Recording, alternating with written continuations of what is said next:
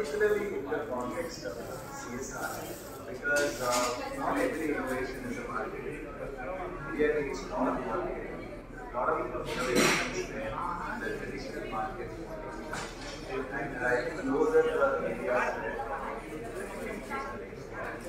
uh, media